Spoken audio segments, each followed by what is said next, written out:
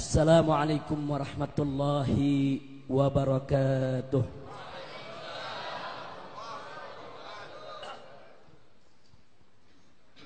Alhamdulillah Alhamdulillahilladzi arsala rasulahu rahmatan lil alamin Alhamdulillah الحمد لله الذي جعل نبيه خاتم النبيين. الحمد لله الحمد لله الذي يقول في حق سيد المرسلين إن الله وملائكته يصلون على النبي. يا أيها الذين آمنوا صلوا عليه وسلموا تسليما. اللهم صل وسلم وبارك عليه وعلى آله وأصحابه. أشهد أن لا إله إلا الله وحده لا شريك له. وأشهد أن سيدنا محمدا عبده ورسوله لا نبي بعده. أحبائي الكرام أوصيكم جميعا ونفسي بتقوى الله وبطاعة رسول الله صلى الله عليه وسلم. فنسأل الله سبحانه وتعالى أن يهدينا إلى صراطه المستقيم. wa yaj'alana minal muttaqin wa yudkhilana jannatahu jannatan na'im bihaqqi sayyidil mursalin walhamdulillahi rabbil alamin taqabbalallahu minna wa minkum fataqabbal ya karim. Fadilatul habaib asy-syurafa wal masyaikh al-fudala wala ulama al izza wa jami'il hadirin al ahibba'i rahimakumullah. Satu kehormatan bagi saya dan satu kebahagiaan tersendiri yang pada malam hari ini dengan izin Allah Subhanahu wa taala saya bisa berkumpul dengan para habaib para masyaikh, para alim ulama, para kiai, para pemuda, segenap jamaah daripada Masjid Serang yang kita cintai ini. Dan mudah-mudahan Pertemuan kita pada kesempatan malam hari ini akan menjadi penyebab turunnya rahmat dan barakah dari Allah Subhanahu wa taala. Secara khusus salam penghormatan kita sampaikan kepada orang-orang tua kita di sini. Wabil khusus kepada Habib Nagib Al-Haddad hafizahullah taala wa ra'ah.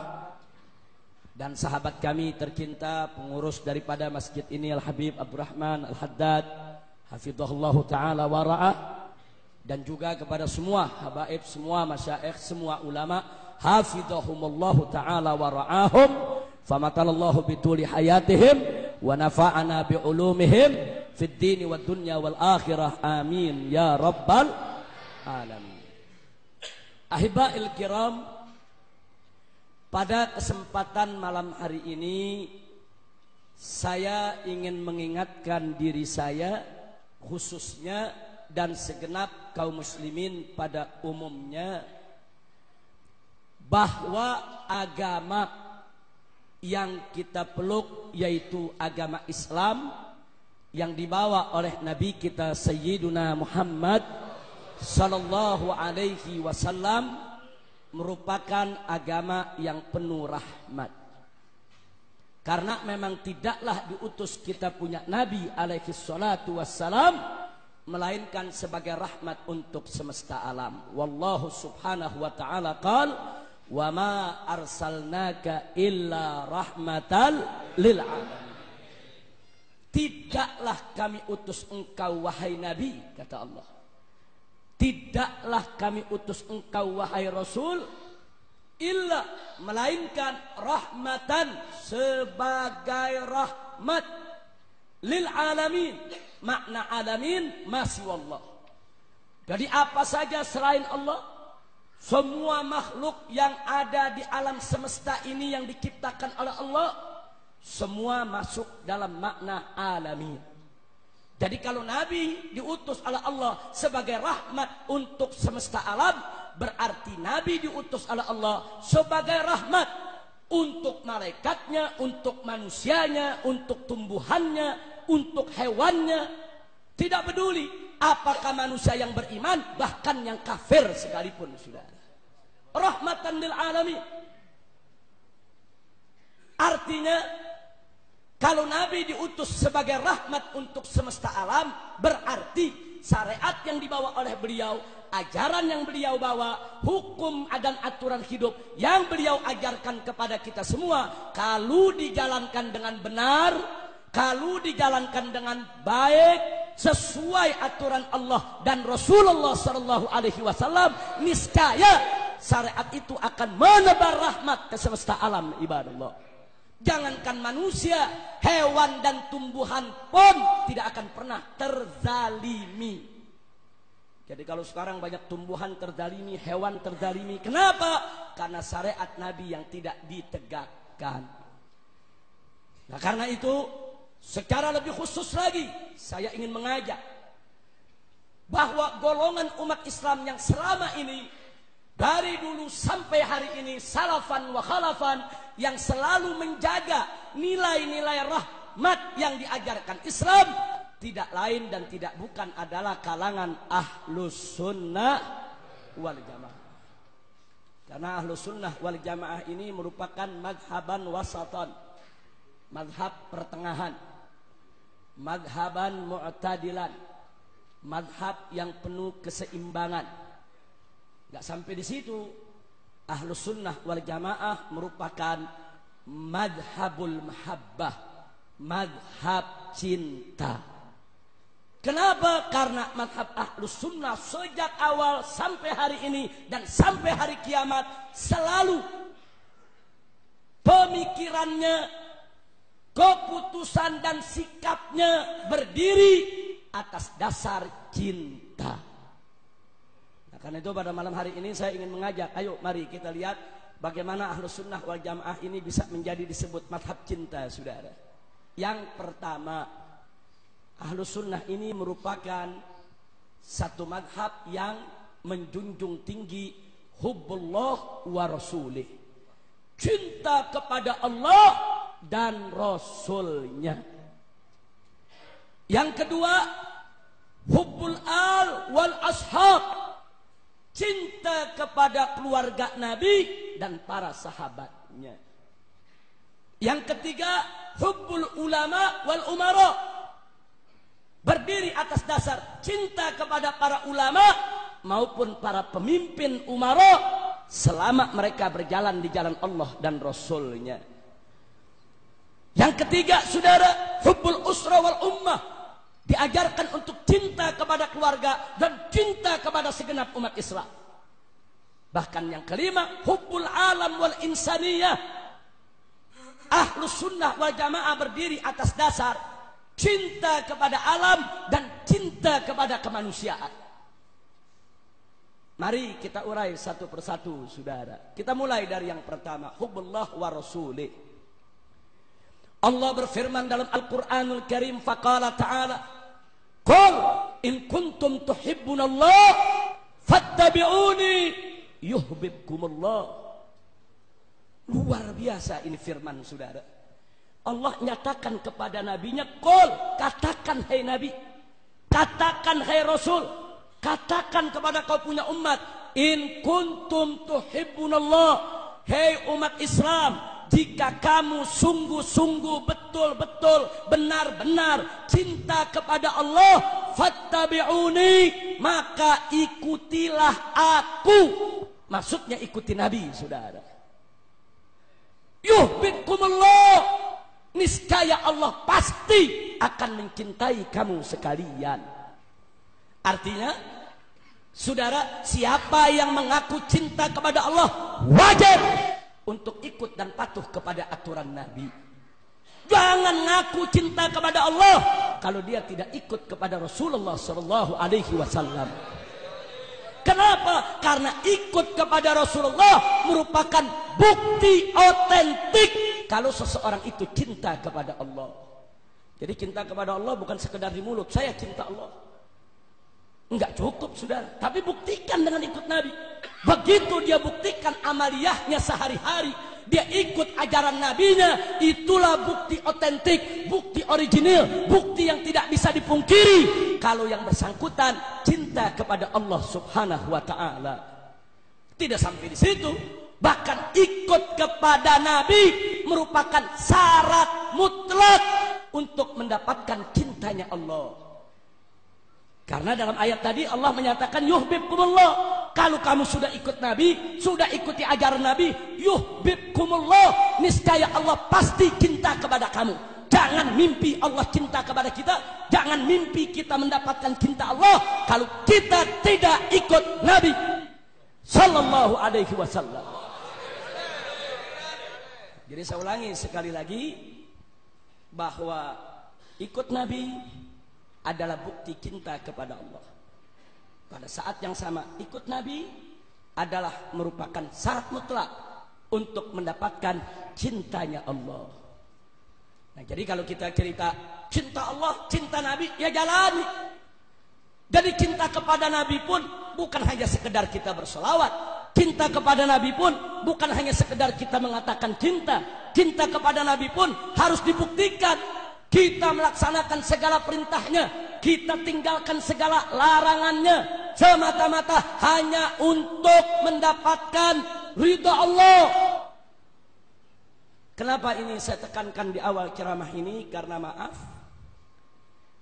di zaman sekarang ini masih banyak orang Islam kalau dikasih tahu hukum, kemudian dikasih dalil dari hadis Nabi, dia nggak puas sudah. Dia ngotot minta dalil dari Al-Quran. Jadi kalau nggak ada dalil dari Al-Quran, seolah-olah dia nggak mau terima. Sudah dikasih tahu nih dalilnya dari hadis Nabi, dari perbuatan Nabi, dari ucapan Nabi. Saudara, dia nggak puas. Tetap dia ngototkan di Al-Quran tidak ada. Kan dalam Al-Quran nggak ada ayatnya. Dia lupa, saudara, bahwa sumber hukum Islam itu tidak hanya terbatas kepada Al-Quran saja. Justru sumber hukum utama setelah Al-Quran adalah sunnah hadis Nabi kita Muhammad Sallallahu Alaihi Wasallam. Kenapa? Karena Nabi ditugaskan oleh Allah untuk menjelaskan isi kandungan Al-Quran. Allah menyatakan dalam Al-Quran faqala ta'ala wa anzalna ilaika dzikra litubayyana lin-nas ma ilaihim Wa anzalna ilaika dzikra. Kami telah turunkan kepada engkau ya Rasul, hei Nabi, adzikra yaitu Al-Qur'anul Karim. Untuk apa? Litubayyana linnas, untuk kau jelaskan kepada umat manusia, manusia ilaihim, apa yang diturunkan kepada mereka. Jadi tugas Nabi adalah bayanun lil Quran untuk menjelaskan isi kandungan Al-Quran Mustahil kita bisa memahami isi kandungan Al-Quran secara sempurna, baik dan benar kalau kita tidak berpegang teguh kepada hadis Nabi kita Muhammad Sallallahu Alaihi Wasallam. Berapa banyak ayat Al-Quran yang mujmalah, ayat Al-Quran yang bicara tentang suatu hukum secara global. Seperti Allah menyatakan wa aqimus salah, dirikanlah salat. Tapi Allah tidak pernah menjelaskan bagaimana caranya salat. Enggak ada dalam Al-Quran yang menceritakan sholat itu diawali dengan takbiratul ihram. Yang diikuti dengan niat saudara. Kemudian dilanjutkan dengan doa iftitah. Membaca suratul fatihah. Kemudian membaca sebagian surat daripada Al-Quranul Karim. Ada ruku, ada etidal, ada sujud, ada duduk. Ada yaitu daripada tumak ninah dan lain sebagainya. Tidak ada dalam Al-Quranul Karim. Lalu kalau Allah perintahkan wa aqimus sholat, tegakkanlah sholat.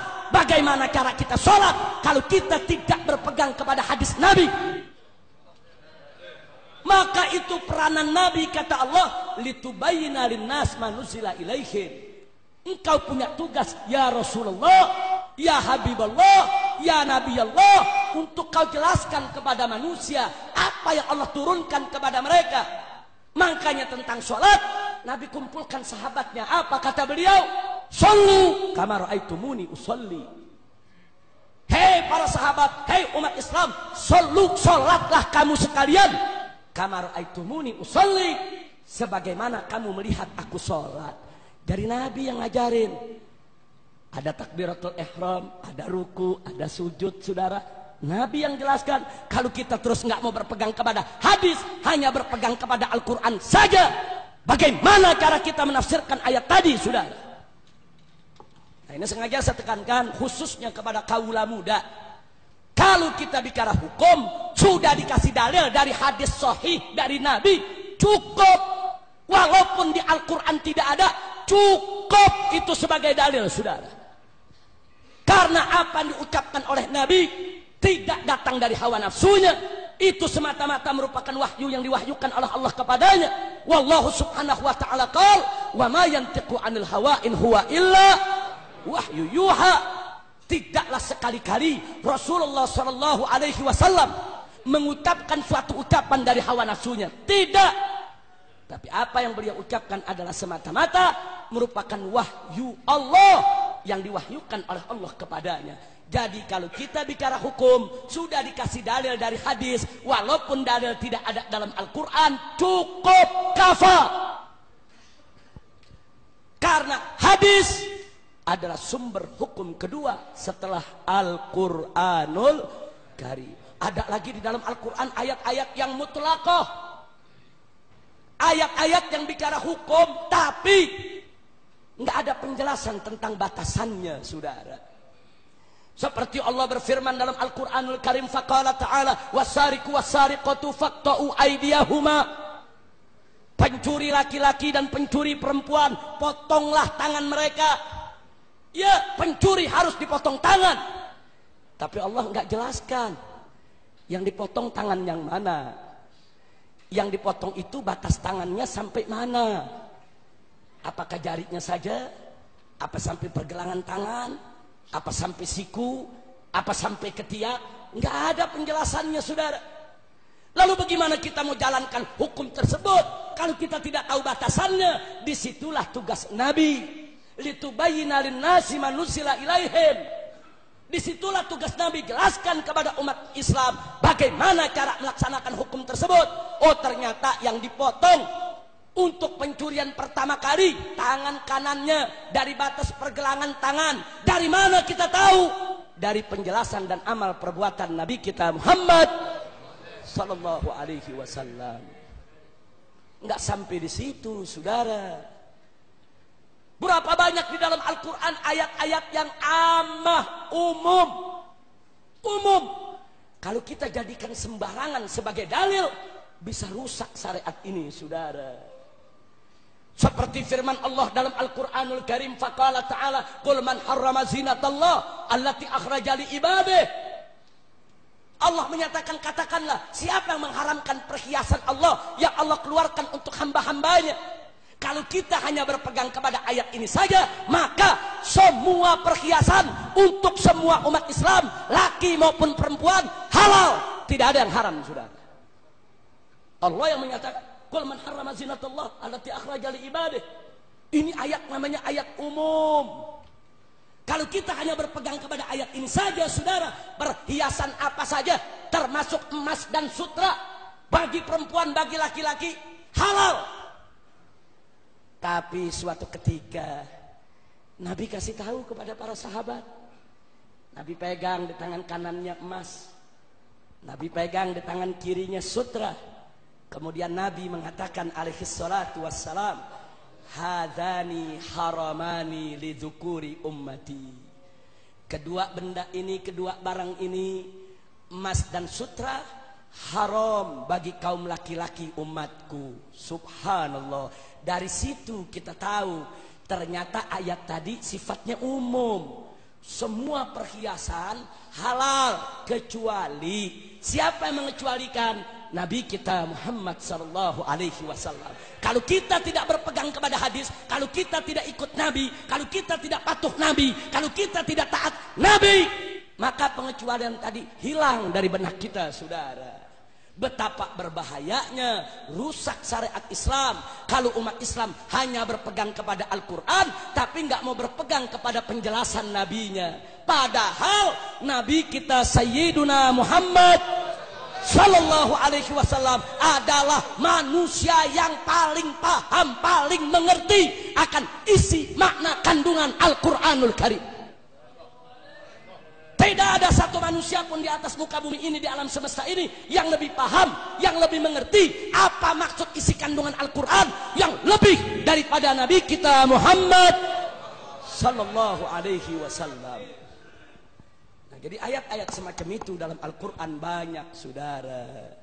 Enggak sampai di situ, saudara. Kadang-kadang dalam Al-Quran ada suatu hukum yang nggak berlaku lagi. Kita nggak bakal tahu kalau kita nggak lihat penjelasan Nabi. Lihat dalam surat Al-Baqarah ada ayat wasiat, saudara. Allah kasih tahu umat Islam. Kutiba alaikum idha hadara hadakumul maut. Intaraka khairin wasiyah. Lil walidaini wal akrabina bil ma'ruf. Haqqan alal muttaqin. Ini ayat wasiat. Di mana diwajibkan orang beriman untuk menulis wasiat kalau dia punya harta wajib dia tulis wasiat untuk kedua orang tua, untuk kerabat dia saudara. Wajib. Kalau disebut wajib, berarti kalau nggak dilaksanakan berdosa saudara. Tapi kemudian turun surat An-Nisa ayat 11 dan 12. Allah rincikan bagian ahli waris. Berapa untuk anak, berapa untuk ibu, berapa untuk ayah. Kapan ibu dapat seperenam, kapan ibu dapat sepertiga, Kapan itu anak perempuan dapat dua per tiga? Kapan dapat setengah?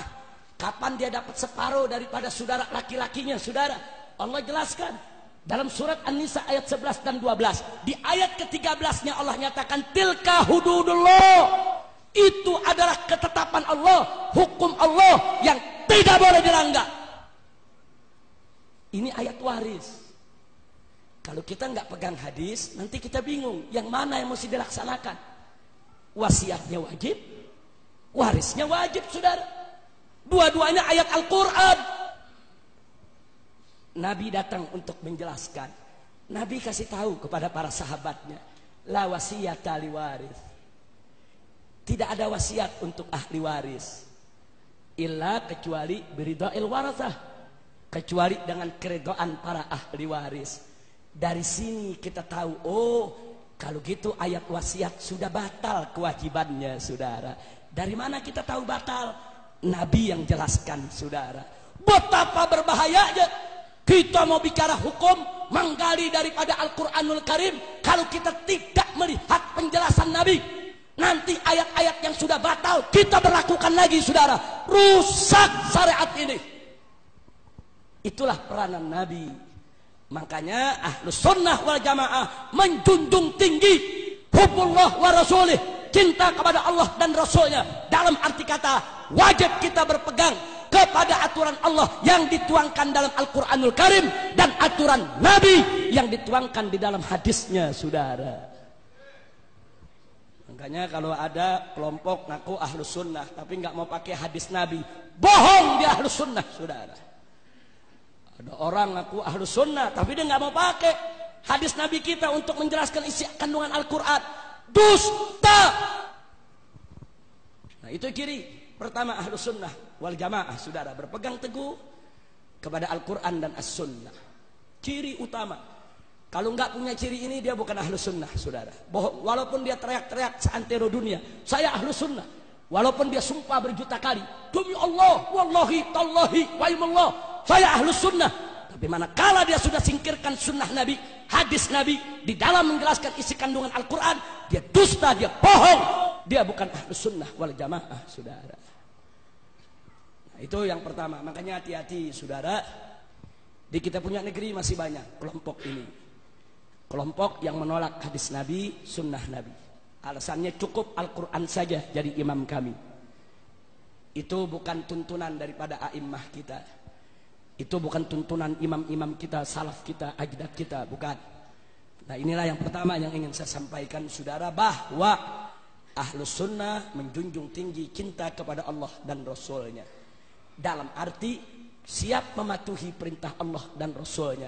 Karena perintah Allah dan Rasulnya menjadi satu kesatuan yang tidak boleh dipisahkan.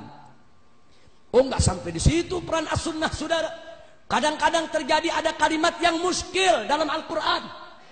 Jangankan kita yang lahir jauh dari negeri Arab yang kadang-kadang baru belajar Arab sehari dua hari.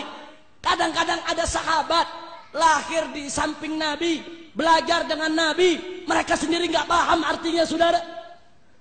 Akhirnya mereka bertanya kepada Nabi. Ini terjadi berkenaan dengan ayat yang menceritakan saudara di mana Allah membolehkan kepada orang beriman untuk makan dan minum di malam hari bulan Ramadan. Allah nyatakan, faqala ta'ala, kulu wasrabu hatta yatabayyana lakumul khaytul abyadu minal khaytil aswadi minal fajri. Thumma atimu siyama ilal lail. Sadaqallahul azim. Allah nyatakan apa? Hei orang beriman kulu wasrabu makanlah kamu. Minumlah kamu. Minum. Di malam hari bulan Ramadan makan minum. Nggak apa-apa terusin. Sampai kapan? Hatta yatabayyana lakum. Sampai jelas bagi kamu sekalian. Al khaitul abiyat benang putih. Minal khaitil aswad dari benang hitam. Minal fajri daripada pagi hari. Summa atimus siyama ilal lail.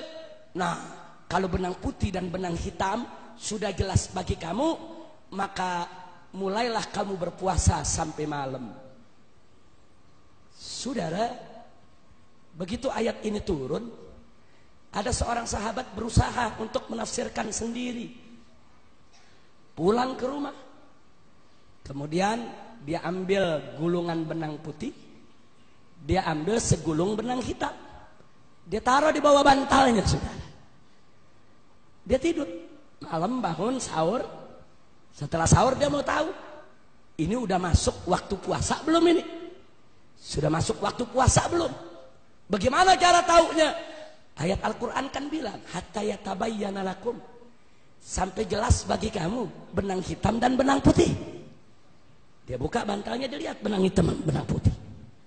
Digelap dua-duanya tetap nggak kelihatan. Diterang, ya memang yang mana pun bisa kelihatan. Dia nggak paham maksudnya apa saudara. Ini sahabat belajar dengan Nabi Besok paginya dia bertanya kepada Rasulullah Sallallahu alaihi wasallam. Dia tanya kepada Nabi saudara. Begitu dia cerita ya Rasulullah. Aku simpan benang hitam dan benang putih di bawah bantal ya Rasulullah. Nabi senyum, Nabi ketawa saudara. Apa kata Nabi? Bukan itu maksudnya.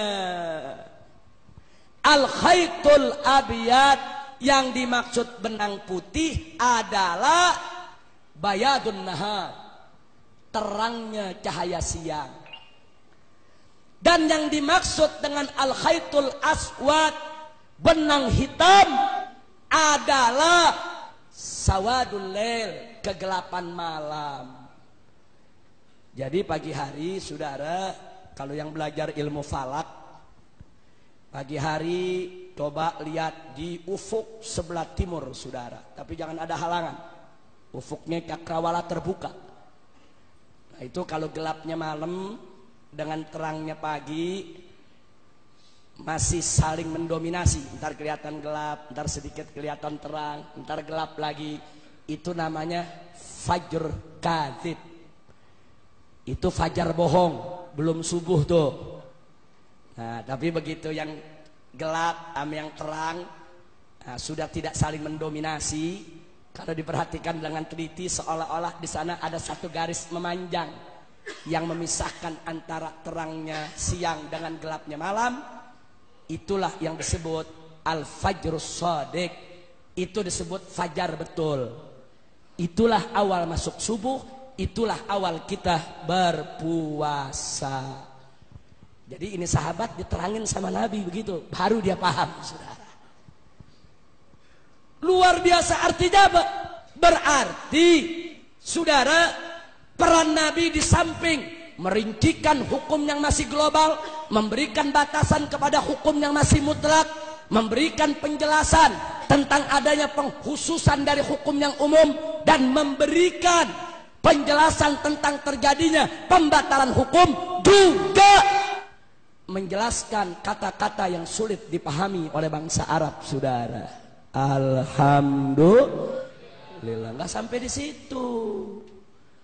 Yang terakhir dari bagian nomor satu ini, saudara, bahwa peran Nabi di antaranya adalah insya ahkamin jadidatin sakataan hal Quran. Membangun hukum baru yang belum disebutkan dalam Al-Quran, saudara. Di Quran nggak ada. Seperti apa? Seperti soal akikah nggak ada dalam Al-Quran. Kurban ada, akikah nggak ada, saudara. Atau seperti soal khitan anak perempuan di Quran nggak ada.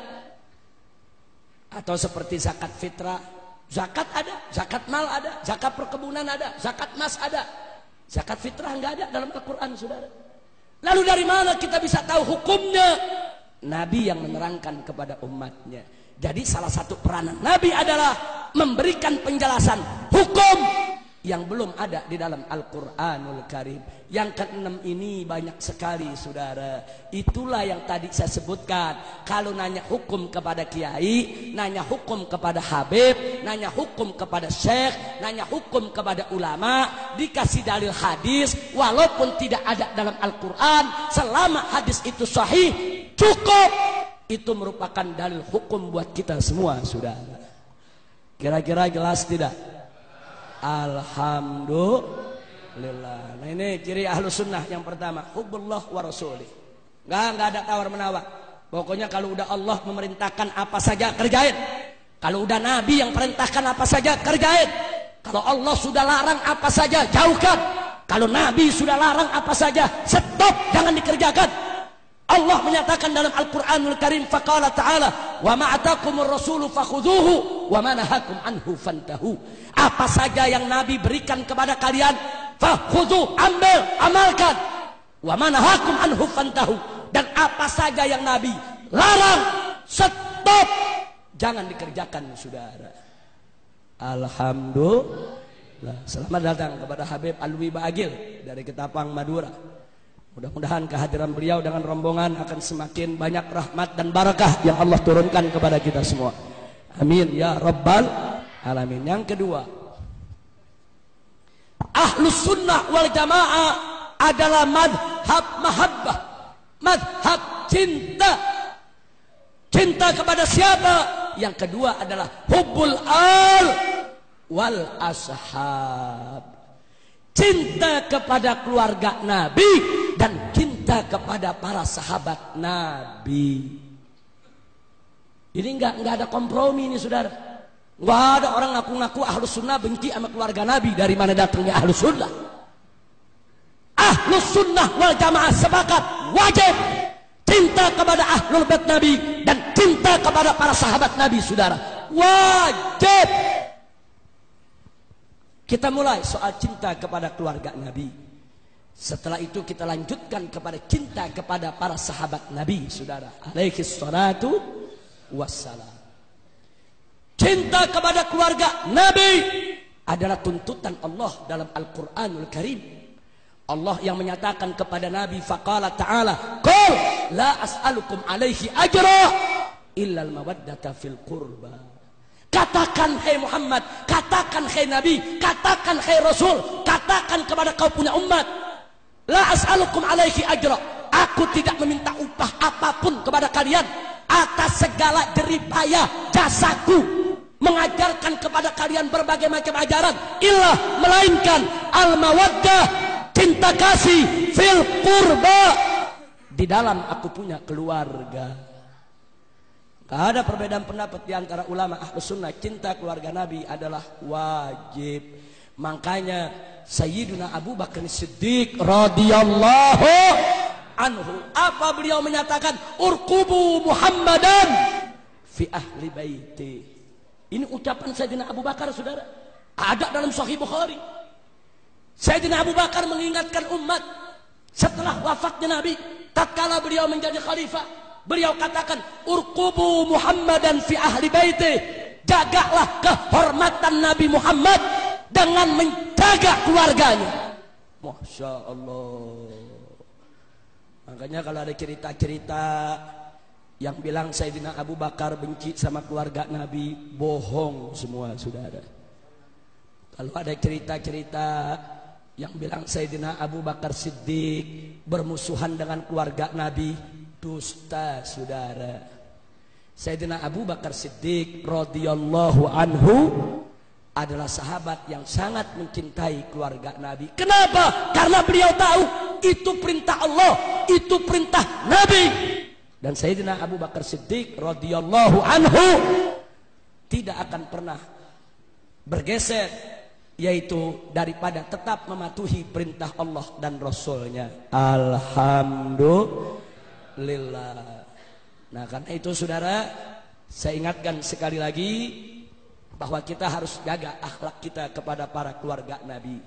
Wabil khusus kepada Sayyidina Ali, kepada Siti Fatimah Zahra, kepada Sayyidina Hasan, kepada Sayyidina Hussein. Ini mereka adalah keluarga yang sangat dicintai oleh Nabi Muhammad Sallallahu Alaihi Wasallam. Jadi kalau di luar sana ada yang coba-coba mengatakan Sayyidina Ali begini, Sayyidina Ali begitu, Fatimah Zahra begini, Fatimah Zahra begitu, Sayyidina Hasan begini, Sayyidina Hasan begitu. Dia cerita dengan tidak punya adab kepada keluarga Nabi. Dusta. Kalau dia ahlus sunnah wal jamaah sudah. Walaupun dia bersumpah dia ahlus sunnah wal jamaah. Walaupun dia bersumpah demi Allah berjuta kali. Kalau dia ahlus sunnah wal jamaah. Tapi manakala dia memusuhi keluarga Nabi. Membenci keluarga Nabi. Tidak menghormati keluarga Nabi. Dia bukan ahlus sunnah maka jangan kita dipecah belah, saudara.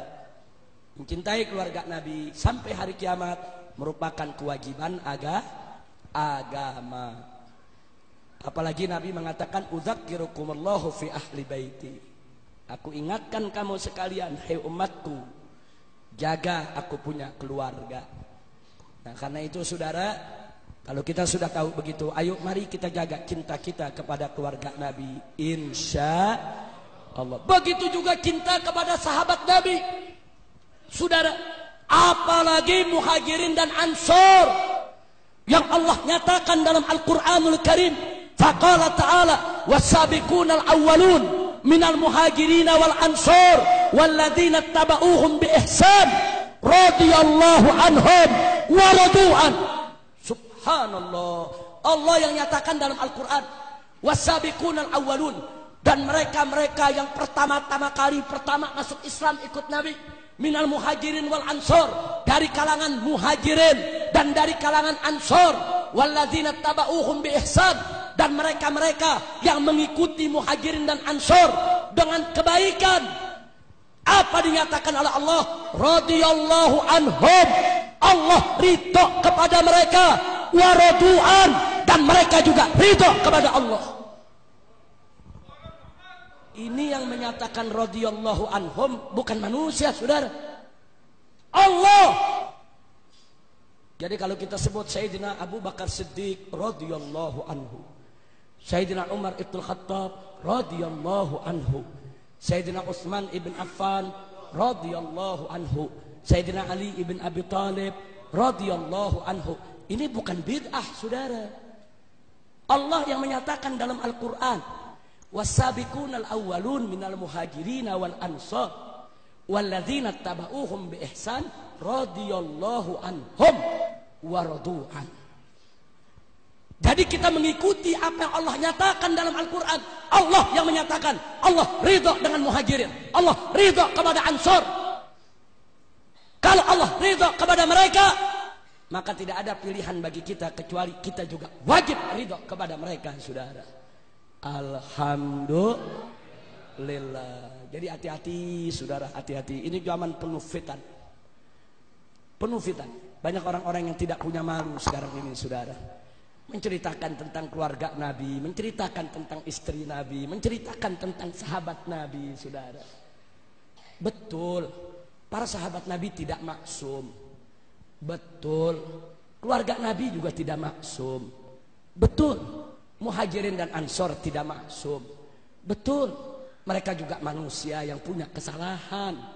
Tapi kedudukan mereka tidak sama dengan kedudukan kita ridho yang mereka dapatkan dari Allah untuk mereka tidak sama dengan apa yang kita dapatkan dari Allah. Jasa-jasa mereka saat memperjuangkan Islam bersama Nabi tidak akan pernah bisa kita tandingi, saudara. Dan hati-hati, saudara. Satu hal saja ingin saya ingatkan.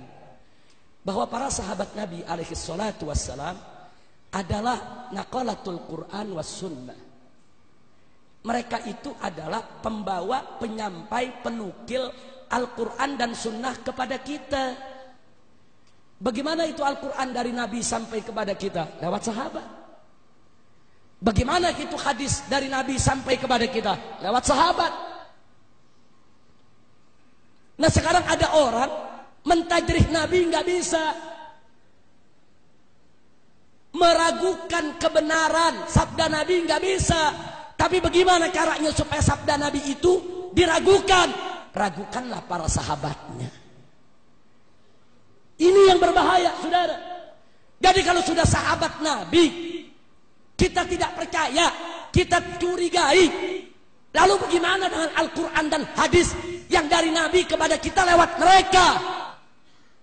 Kalau para sahabat Nabi tidak bisa dipercaya, kalau para sahabat Nabi patut dicurigai, kalau para sahabat Nabi tidak jujur dan amanat, berarti Al-Quran dan hadis yang sampai kita penuh kecurigaan, saudara.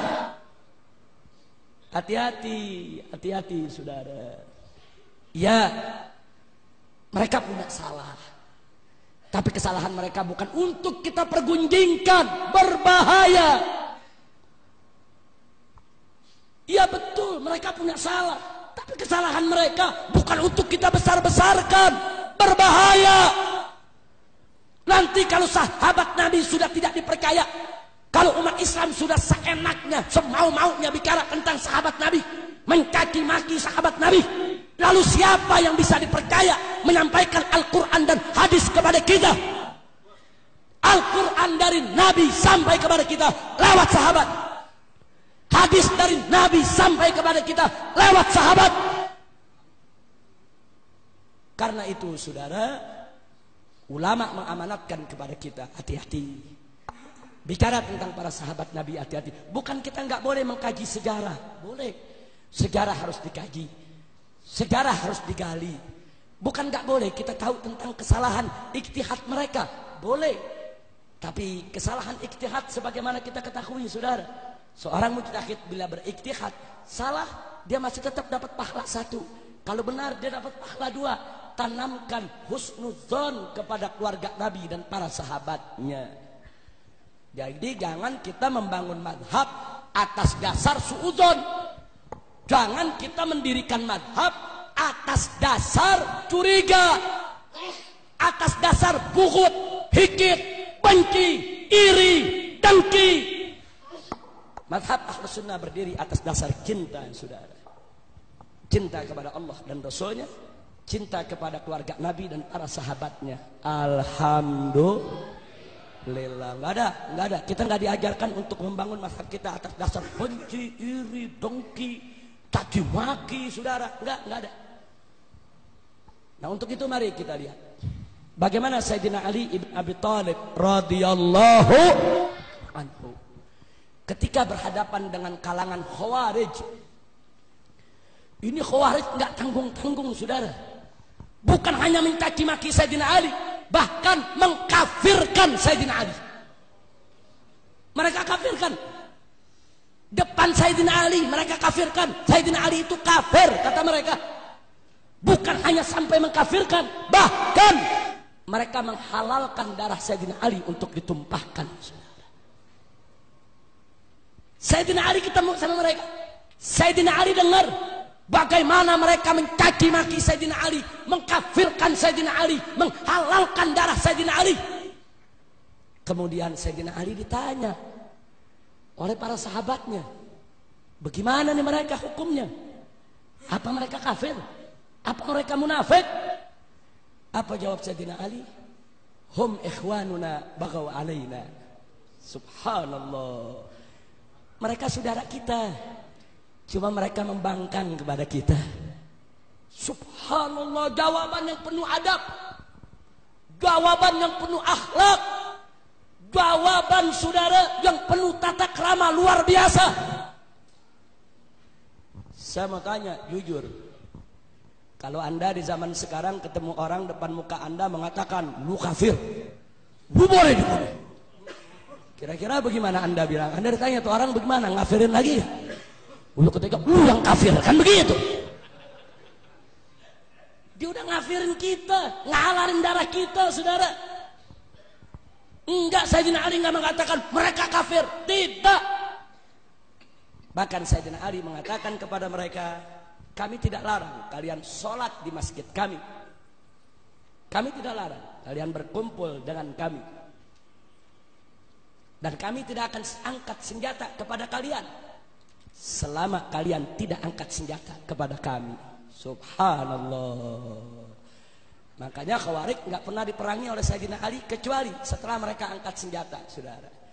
Begitu mereka angkat senjata, begitu mereka mengganggu orang-orang beriman, begitu mereka seenaknya membunuh kaum muslimin, diperangi oleh Sayyidina Ali, saudara. Saat mereka belum angkat senjata, diajak dialog oleh Sayyidina Ali. Kenapa kalian kafirkan aku? Diajak dialog, nggak sampai di situ.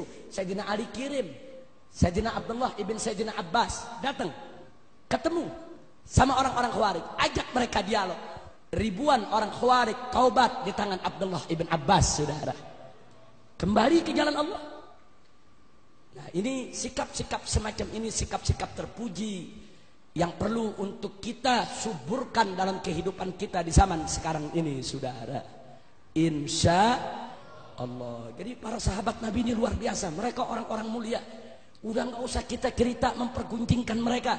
Kalaupun mereka punya kesalahan, saudara, Allah nanti nggak tanya kita.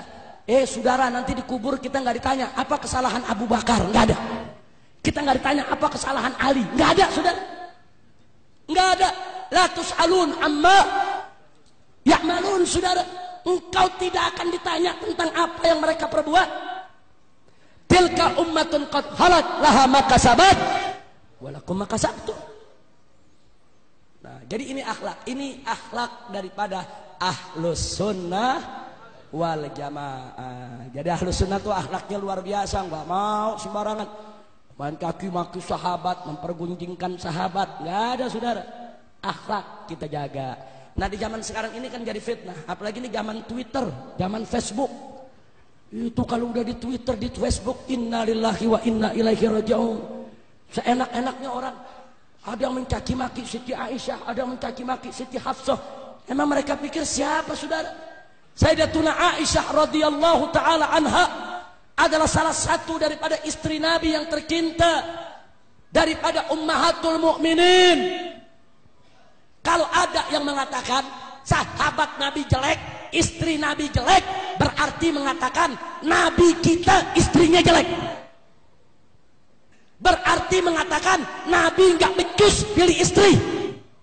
Masya Allah. Apa kita lebih hebat dari Nabi? Alaihi salatu wassalam. Allah tidak akan biarkan kalau ada perempuan-perempuan tidak benar berdiri di sisi Nabi, saudara. Jadi kalau kita katakan sahabat Nabi yang A, yang B, yang C, yang D, ini semua rusak, berarti Nabi sahabatnya orang rusak. Berarti Nabi nggak becus pilih teman. Nauzubillah min. Nastaghfirullahal azim. Saya mau tanya semua yang ada di sini, Nabi kita mulia tidak? Nabi mampu tidak pilih istri? Nabi mampu tidak pilih sahabat? Nabi bisa membedakan orang baik dan orang jahat tidak? Takbir. Sallu ala Nabi. Hati-hati saudara, hati-hati. Kalau anda punya kritik terhadap satu dua sahabat, bukan nggak boleh, bukan. Tapi sampaikan kritik itu dengan ilmu, dengan adab, dengan argumentasi, dan dengan tetap husnuzon. bukan dengan suudzon, bukan dengan kebencian, bukan dengan hikit, bukan dengan bukut, bukan dengan iri dan dengki, bukan kita nggak ada apa-apanya dibandingkan dengan para keluarga Nabi yang dulu berjuang dengan Nabi dan dibandingkan dengan para sahabat Nabi yang dulu banyak berkorban untuk Allah dan Rasulnya. Mudah-mudahan Allah memberikan petunjuk kepada kita dan kepada semua saudara-saudara kita. Amin ya rabbal alamin. Nah, jadi kalau sekarang kita dengar ada orang ingin mengkritik para sahabat Nabi, saudara, kewajiban kita untuk berdakwah kepada mereka. Ajak, ayo kita bicara, ayo duduk bareng. Hat burhanakum in kuntum sadiqin. Ayo tunjukkan apa kau punya dalil. Apa kau punya argumentasi. Mari, kalau memang kau benar, tunjukkan argumentasimu. Tunjukkan dalilmu. Nah ini saatnya para ulama, para habaib, para masyaih, para kiai yang punya ilmu. Enggak boleh diam, saudara. Enggak boleh. Jadi kalau ada sahabat dihina, istri Nabi dihina, keluarga Nabi dihina, saudara. Ulama mesti bicara. Karena ulama yang punya dalil. Karena ulama yang tahu dalil.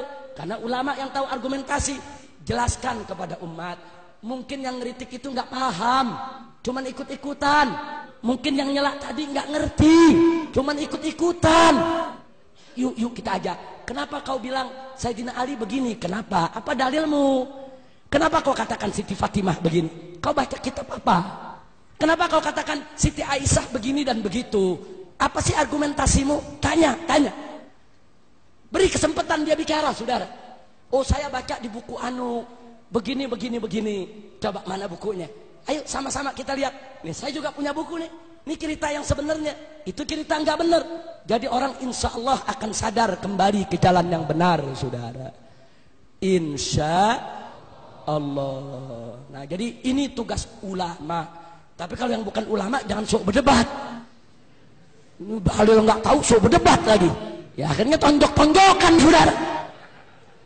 Jangan kalau nggak punya dalil bukan ulama udah diam. Serahkan aja kepada ulamanya, biarkan ulamanya menjelaskan kepada umat. Insya maka itu saya mau tanya semua yang ada di sini siap cinta kepada Allah, siap cinta kepada Rasul, siap cinta kepada ahlul bait, siap cinta kepada para sahabat.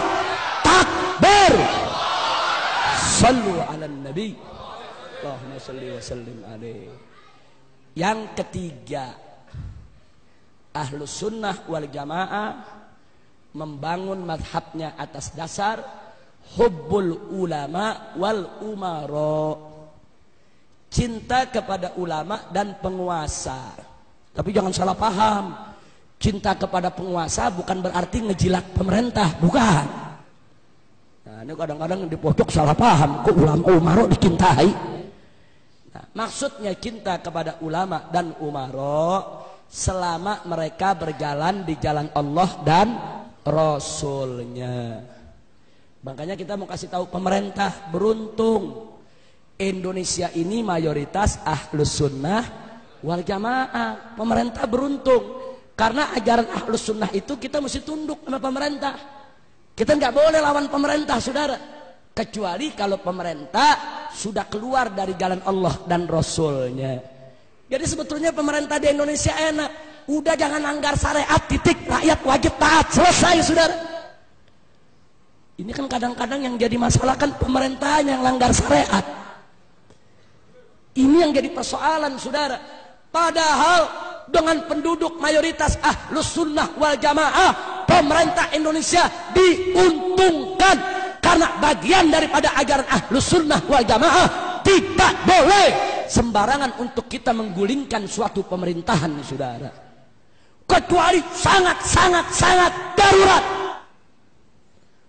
Bahkan Nabi pernah sampaikan kepada para sahabatnya nanti akan datang suatu zaman kalian ini hai umat Islam akan dipimpin oleh orang-orang yang buruk akhlak jelek tingkah lakunya Kemudian sahabat bertanya, apa kita gulingkan dia ya Rasulullah? Apa kita angkat senjata, kita berontak, kita gulingkan? Apa jawab Nabi? La, maka masalah. Jangan selama dia masih mendirikan sholat. Kalau udah nggak sholat, baru rubuhin sudah. Kalau dia masih sholat, jangan dulu. Kasih nasihat, kasih peringatan.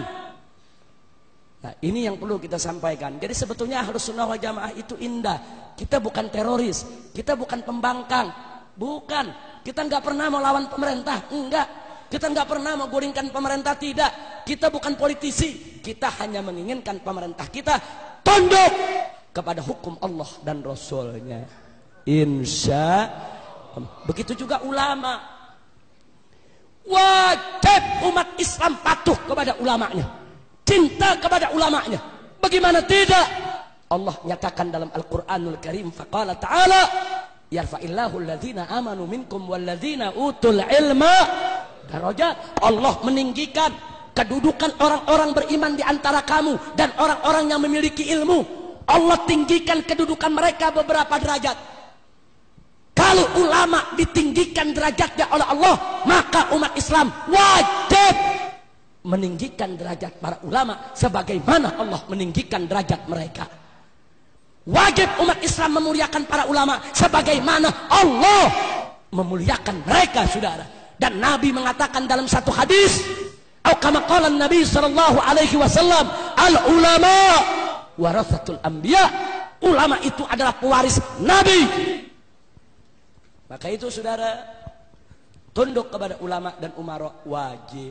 Tapi dengan syarat selama ulama dan umarohnya berada di jalan Allah dan Rasulnya.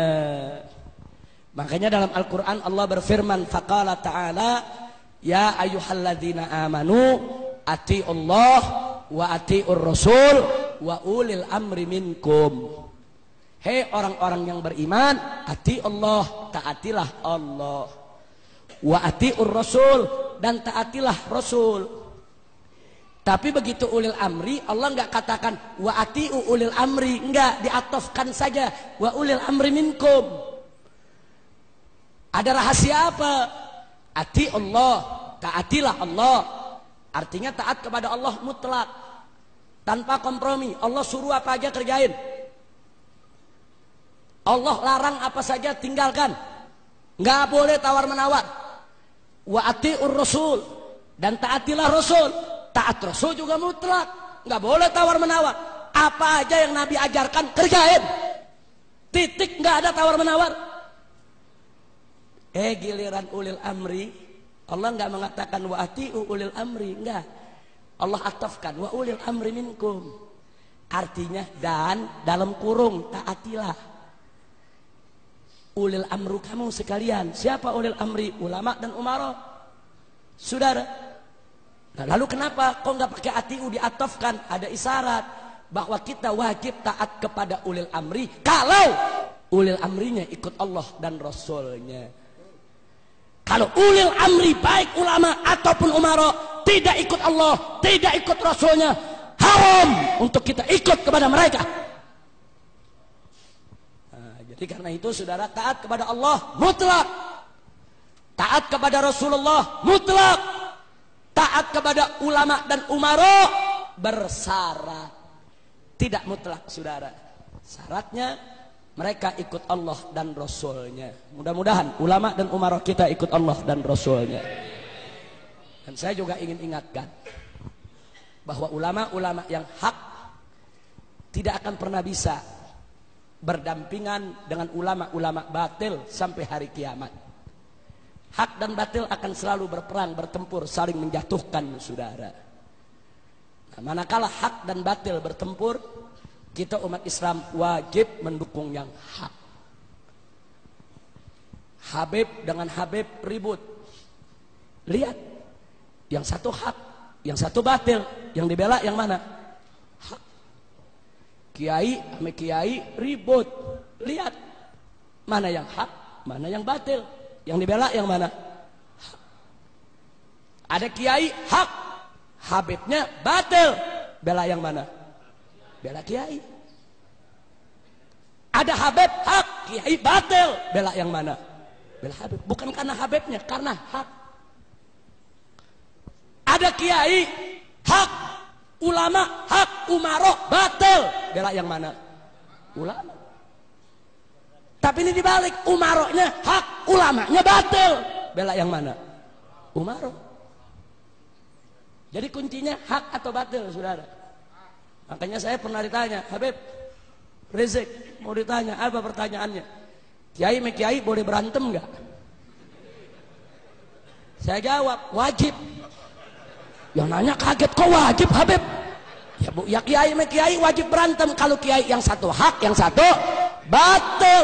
Wajib. Tapi kalau kiainya sama-sama hak, haram. Mereka bertikai, saudara. Kalau Habibnya sama-sama hak, haram. Mereka bertikai, saudara. Kira-kira jelas? Ya, jangan ntar pulang dari sini kata Habib Rizik, kiai kiai mesti berantem. Nah, begitu. Maksudnya yang hak dengan yang ba batil. Tapi alhamdulillah kita bersyukur kepada Allah. Di negara Republik Indonesia ini ulama dan kiai yang istiqomah jauh masih lebih banyak dibandingkan mereka-mereka yang jalan menyimpang dalam kebatilan saudara. Alhamdulillah. Makanya jangan jauh-jauh. Yaitu dari majelisnya para habaib majelisnya para kiai. Ikuti mereka semua saudara. Mudah-mudahan Allah menyelamatkan kita amin ya rabbal alamin nah karena itu setelah panjang lebar saya sampaikan tadi tentunya masih ada yang keempat dan kelima. Yang keempat dan kelima saya tidak bahas lagi saudara, tapi saya hanya sekedar mengingatkan ahlus sunnah wal jamaah wajib cinta kepada kedua orang tuanya, cinta kepada keluarganya, dan cinta kepada segenap umat Islam. Kenapa ini saya tekankan soal orang tua? Sebab zaman sekarang ada kelompok-kelompok yang mengatakan sangat Islam tapi kurang ajar sama orang tua sudah. Jadi kalau orang tuanya dianggap bukan kelompok dia nggak ada urusan. Bagi dia gurunya lebih hebat dari orang tuanya.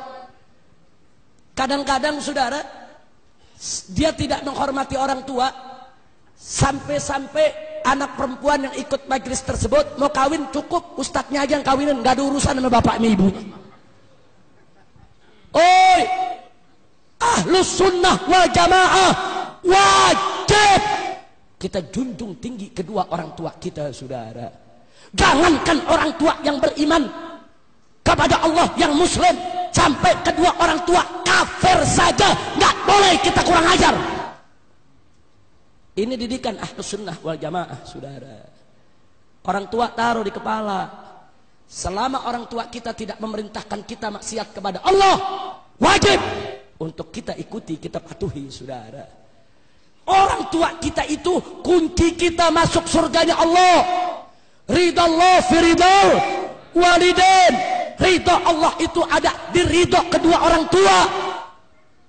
Dari mana itu majlis-majlis atau organisasi-organisasi atau kelompok-kelompok yang seenaknya memisahkan anak dari orang tuanya, mengajarkan anak kurang ngajar kepada orang tua.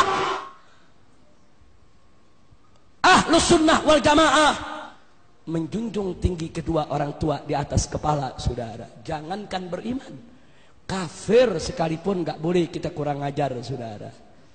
Maka itu saya mau tanya ahlu sunnah indah tidak? Indah tidak makanya tadi saya katakan ini madhab cinta saudara. Ini bukan madhab bukut bukan madhab hikit bukan madhab benci madhab kasih sayang. Kita diajarkan cinta sama kedua orang tua kita cinta sama keluarga kita cinta sesama umat is Islam. Sampai-sampai saudara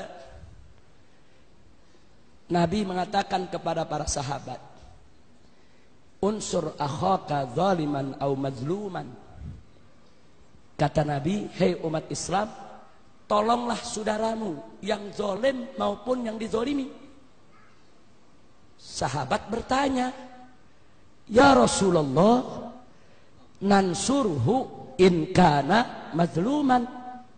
Tentu kami tolong dia kalau dia itu dizalimi wa kaifa nansuruhu in kana zaliman tapi bagaimana cara kami tolong dia kalau dia sendiri yang berbuat zalim bingung sahabat jadi Nabi kasih tahu sahabat tolong saudaramu yang zalim maupun yang dizalimi sahabat bertanya ya Rasulullah kalau yang dizalimi tentu kita bela tapi kalau yang zalim, bagaimana belanya? Apa kata Nabi alaihi salatu wassalam? Tahjuzuhu an zulmihi. Kau cegah dia dari kezalimannya. Fadzalika nasruh. Begitulah cara menolongnya. Subhanallah. Jadi kalau ada saudara kita yang zolim, tolong. Caranya cegah dia dari kezolimannya. Ada saudara kita nenggak minuman keras, jangan ditinggal, tolong. Bagaimana nolongnya? Cegah dia, jangan sampai dia menenggak minuman keras. Jadi tolong dia bukan beliin minuman keras. Kalau ada saudara kita judi, tolong cegah dia dari perjudiannya. Ini Nabi yang suruh saudara. Jadi jangan dulu kita mengaku bersaudara sesama orang beriman. Manakala kita dapatkan saudara muslim kita berbuat maksiat kita biarkan. Korupsi kita biarkan. Judi kita biarkan. Melacur kita biarkan. Minuman keras kita biarkan. Haram. Enggak boleh. Tolong dia. Selamatkan dia. Jangan lupa Nabi mengatakan saudara dalam satu hadis yang lain Masalul mu'minin fi tawadihim wa tarahumihim wa ta'atufihim kamathalil jasadil wahid. Idza staka minhu udwun tada'alahu sairul jasadi bisahari wal humma. Kata Nabi alaihi salatu wassalam, perumpamaannya orang-orang yang beriman di dalam kasih sayang sesama mereka, di dalam cinta kasih sesama mereka, di dalam pergaulan sesama mereka. Kamathalil jasadil wahid, bagaikan tubuh yang satu. Idza staka minhu udwun kalau salah satu anggota tubuh mengeluh, menderita karena suatu penyakit, tada'alahu sairul jasad. Seluruh jasad ikut menjerit, ikut menderita, ikut peduli. Bisahari wal humma. Sampai-sampai seluruh jasad nggak bisa tidur karena meriang, Saudara. Subhanallah. Saya mau tanya, kalau di tangan kita ada bisul, Besar itu bisul. Ngebuat sakit. Kira-kira kepala ikut pusing tidak? Biasanya badan meriang tidak? Kalau kepala pusing, badan meriang, bisa tidur? Yang bisul tangan. Yang sakit tangan. Kepala peduli, ikut pusing. Sekujur badan peduli, ikut meriang. Mata peduli, nggak bisa tidur. Begitulah Nabi mengumpamakan persaudaraan kita, saudara. Nabi kasih tahu perumpamaan orang yang beriman seperti itu. Artinya umat Islam ini harus bersaudara bagaikan tubuh yang satu. Kalau ada saudara kita menderita, itu bagian tubuh kita. Peduli dong. Jadi jangan melulu orang cerita, mari kita tegakkan persatuan, mari kita bersaudara, tapi dia tidak peduli dengan penderitaan saudaranya. Omong kosong. Kalau ada saudara kita yang bodoh, tidak punya ilmu, itu saudara kita. Itu bagian tubuh kita. Duka dia duka kita, derita dia derita kita, saudara. Yang punya ilmu terjun, ajarkan, bimbing, bina. Selamatkan dia dari jurang kebodohannya. Itulah persaudaraan orang yang beriman. Kalau ada saudara kita miskin, kelaparan, melarat, itu bagian tubuh kita. Lapar dia mesti jadi lapar kita, susah dia mesti jadi susah kita. Yang punya duit, yang punya harta, yang kaya raya, tolong bantu selamatkan dia dari kemelaratannya. Itu persaudaraan orang beriman. Kalau ada saudara kita dianiaya, dibunuh, saudara diperkosa, dirampas harta bendanya, itu saudara kita. Kita mesti peduli, nggak boleh kita diam. Apa yang bisa kita bantu dia, bantu. Makanya sedih sekali. Ada orang dikasih tahu tentang pembantaian umat Islam di Palestina yang dilakukan oleh Israel. Apa dijawab? Ah, itu urusan orang Arab. Itu bukan urusan saya. Ittaqullah. Itu yang dibantai orang Islam, anak kaum muslimin yang membantai orang kafir, Yahudi. Itu bukan urusan orang Arab, itu urusan umat Islam. Peduli dong. Al-Masjidil Aqsa itu milik kita. Kok sampai puluhan tahun dikuasai oleh orang-orang Yahudi? ke mana umat Islam yang saat ini di dunia jumlahnya 1,8 miliar kita seperti lumpuh di depan Yahudi saudara Innalillahi wa inna ilaihi raji'un jangankan ke Arab sana tak kala saudara kita dibantai di Ambon dibantai di Poso itu perempuan kita saudara di Poso hampir 100 orang dibugilkan, ditelanjangkan, diarak keliling kota oleh laskar-laskar Kristus. Itu saudara kita. Itu perempuan kita, saudara. Harus kita peduli. Jangan begitu dikasih tahu, ah itu urusan orang Ambon. Itu urusan orang Poso. Itu bukan urusan kita. Haram. Kita mesti rasakan penderitaan mereka, saudara. Begitu juga kalau ada saudara kita yang maksiat. Dia nenggak minuman keras, dia judi, dia melacur saudara. Itu saudara kita.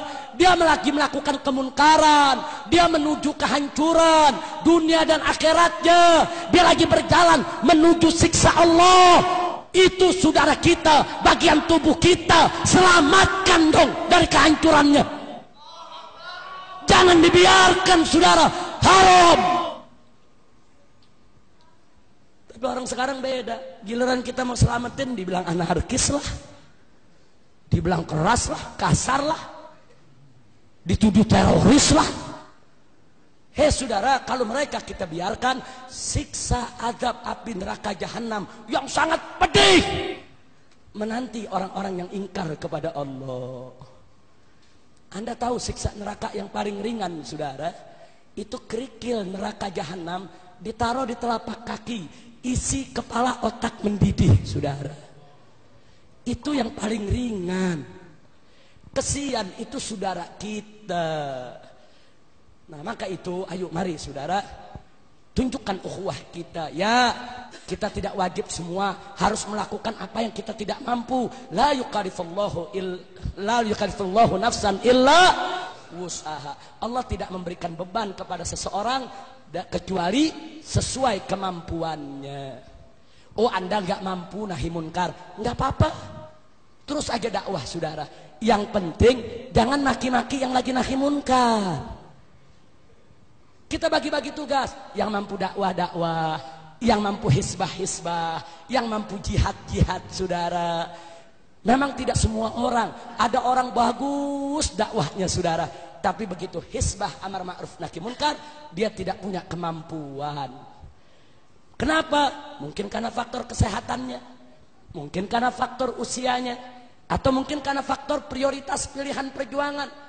Dia kiai pimpinan pondok pesantren, muridnya ada 20 ribu. Kalau dia ikut amar ma'ruf nahi munkar, besok ditangkap di penjara. Bagaimana santri yang 20 ribu? Oh kalau begitu, dia nggak usah ikut. Cukup dia ajar santrinya saja. Nggak apa-apa saudara. Bagi tugas. Bagi tugas. Ini jangan yang dakwah penuh kelembutan, lupa diri, nyala-nyalain yang amar ma'ruf nahi munkar. Apa tuh amar ma'ruf nahi munkar begitu tuh? Keras, kasar, bukan cara Nabi. Oh. Itu teroris. Begitu juga saudara orang yang amar ma'ruf nahi munkar, yang jihad banyak. Tapi dia nggak mampu dakwah dengan lembut. Nah tiap hari kerjaannya perang, disuruh lembut nggak bisa. Disuruh ceramah aja dia teriak-teriakan. Memang udah begitu modelnya. Nggak apa-apa, teruskan jihadnya, teruskan amar ma'ruf nahi munkarnya. Lalu bagaimana dakwah yang penuh kelembutan? Serahkan kepada ahlinya. Kan banyak orang-orang yang ahli dalam kelembutan, dalam kearifan, dalam kebijakan. Bagi-bagi tugas, saudara. Jangan yang jihad sok jago. Dia merasa dirinya paling hebat, paling benar, paling berani. Sementara kiai yang dakwah dengan lembut dihina. Apa tuh kiai lembut-lembut kayak kue apem? Ada yang model begitu? Ada dia hina saudara. Sombong. Sok jago. Nggak boleh saudara. Kadang-kadang di masjid yang dibuka kitab soal toharoh. Eh ditelak media. Itu tiap hari ngaji di masjid. Babnya toharoh. Yang diomongin air dulu. Lama-lama jamaah jadi mujair semua. Saya mau tanya, sombong tidak? Sombong tidak? Allah nggak suka manusia sombong, saudara. Nah, maka itu saya ajak, kita bagi-bagi tugas. Nah, sebelum saya akhiri, saya berikan analogi perumpamaan. Dakwah dan amar ma'ruf nahi munkar, hisbah, disingkatnya hisbah. Bahasa fikihnya hisbah. Hisbah itu amar ma'ruf nahi munkar. Dakwah dan hisbah itu kalau diumpamakan pekerjaan petani ibarat menanam padi dan memberantas hama. Dakwah dengan lembut itu nanam padinya, saudara.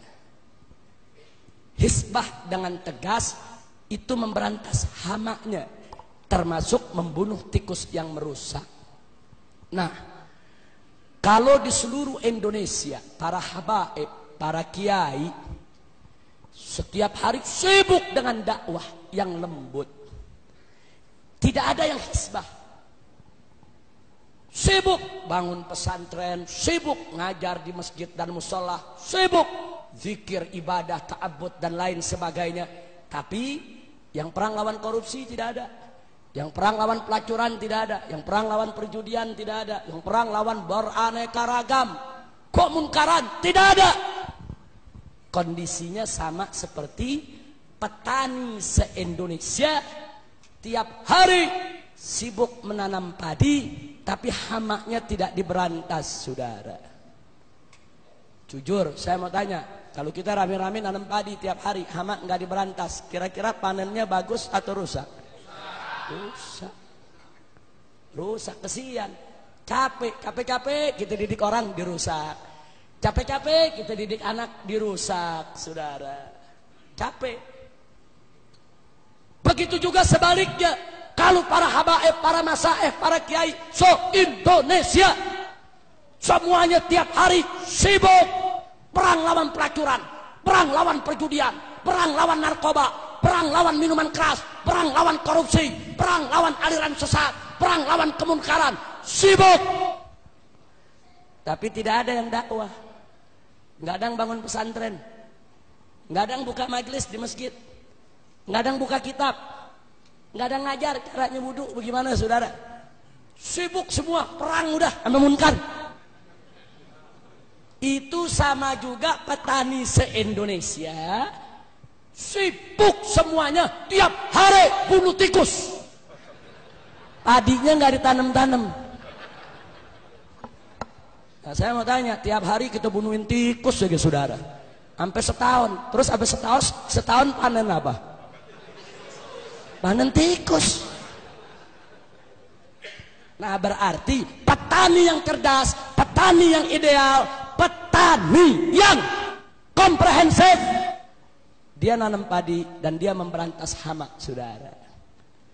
Tapi kan gak semua petani mampu. Ada yang pintar nanam padi, nggak pandai memberantas hama, nggak apa-apa, tanam saja padinya. Bagaimana hamanya? Minta bantuan saudaranya yang mampu memberantas hamaknya saudara.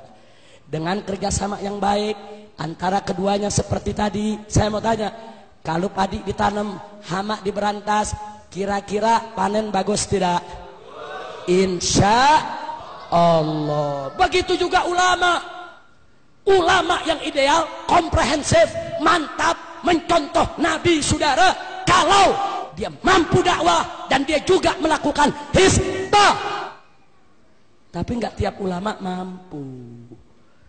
Kan tadi sudah saya katakan, orang kalau udah tua kok disuruh demo, saudara. Dari mana datangnya? Orang udah tua kok disuruh angkat senjata perangnya nggak bisa. Bahkan Siti Aisyah radhiyallahu taala anha pernah berfatwa, laki-laki yang penakut makruh ikut jihad, saudara. Itu fatwa Siti Aisyah. Lo kok makruh? Bahkan ada ulama mengatakan lelaki penakut haram ikut jihad. Kenapa? Sebab kalau dia ikut nanti takutnya nular sama yang lain. Sudah. Jadi Siti Aisyah bilang kalau udah penakut suruh di rumah aja. Jangan dipaksa jihad. Itu kan karakter. Nah sekarang dia ikut jihad, temennya lagi semangat tembak musuh. Dia lagi terkencing-kencing. Temennya lagi semangat, Allahu Akbar. Dia lagi mikir, ya bini gue bagaimana bini gue. Bisa kacau perangnya saudara. Artinya apa? Ada ulama mampu dakwah, nggak mampu hisbah. Ada ulama mampu hisbah, nggak mampu dakwah, nggak apa-apa saudara. Nggak apa-apa. Yang mampu dakwah teruskan dakwahnya dengan lembut. Tapi tolong doakan saudara-saudaranya yang sedang melakukan hisbah. Begitu juga sebaliknya. Yang hisbah dengan tegas teruskan. Tapi jangan lupa juga di sela-sela ibadahnya doakan, beri dukungan kepada ulama-ulama yang dakwahnya dengan penuh kelembutan. Indah tidak? Indah tidak? Jadi kalau ulama dengan ulama saling kerjasama menyempurnakan saudara, kira-kira kita bisa jaya tidak? Bisa menang tidak? Karena itu saya mau tanya, siap bersatu? Siap berjuang bersama? Siap saling menghormati? Takbir! Sallu ala Nabi.